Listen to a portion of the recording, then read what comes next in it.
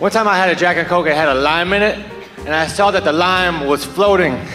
That's good news, man. Next time I'm on a boat and it capsizes, I will reach for a lime. I'll, I'll be water skiing without a life preserver on. People will say, What the hell? And I'll pull out a lime. and a lemon, too. I'm saved by the buoyancy of citrus.